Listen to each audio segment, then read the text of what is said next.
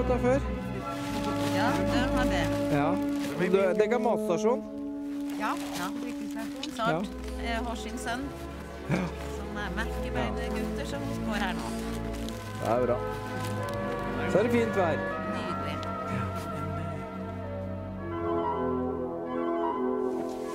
Du er dame nummer to, Hilde.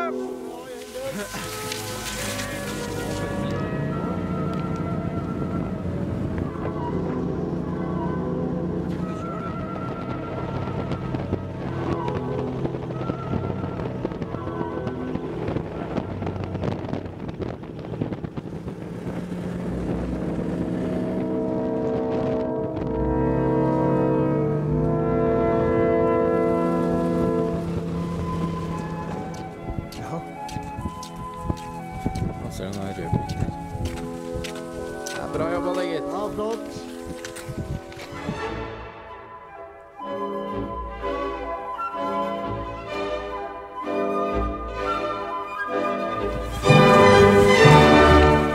Ja, ja, ja. Det bra jobba. Da på toppen her med